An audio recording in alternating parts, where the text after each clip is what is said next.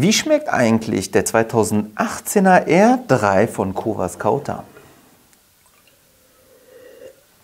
Und die scheinbar heile Welt die Zerstörung, Gewalt und Brutalität. Jetzt wisst ihr wie. Stell jetzt deine ganz persönliche Weinfrage auf asktoni.de.